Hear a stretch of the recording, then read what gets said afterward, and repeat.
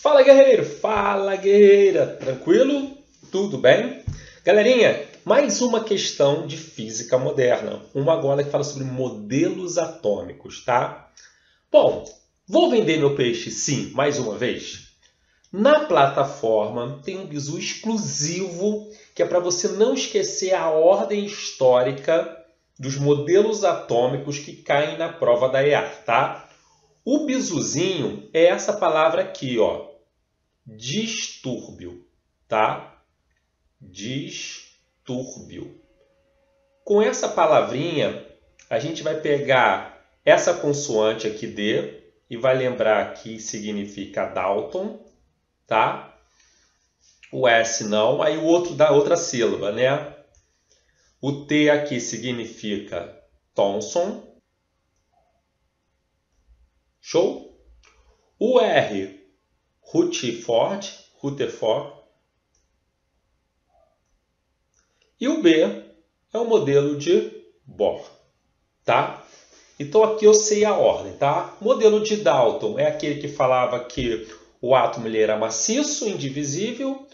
O modelo de Thomson foi aquele que foi feito através, colocaram duas placas e aí viu que o feixe ele tinha desvio, e aí falava que ele era parecido com, ele era uma massa positiva cheio de cargas negativas presas nelas, como se fosse um pudim de passas. O modelo de Rutherford foi o da folha de ouro, né? Bombardeou ali com a partícula alfa uma folha de ouro e viu que através dos desvios como é que o átomo era feito.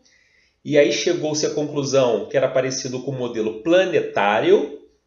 E o modelo de Bohr foi para explicar por que, que a partícula, ela, mesmo sendo negativa, ela não era atraída pelo próton e aconteceria um colapso, tá? Então foi visto que os elétrons ele ficavam andando em caminhos de níveis de energia bem definidos. E aí viu que esse era o modelo de Bohr, tá?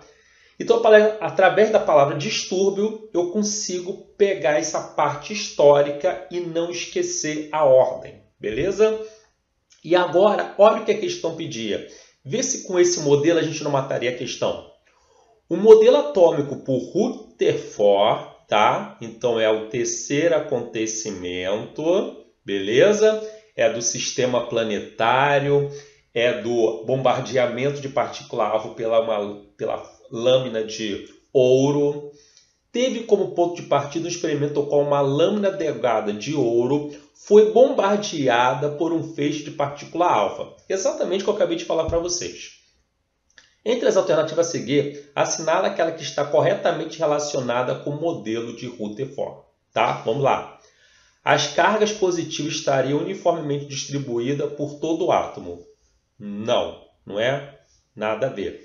Isso aqui, de uniformemente distribuído, seria mais perto do modelo de Thomson, tá? Então, nada a ver.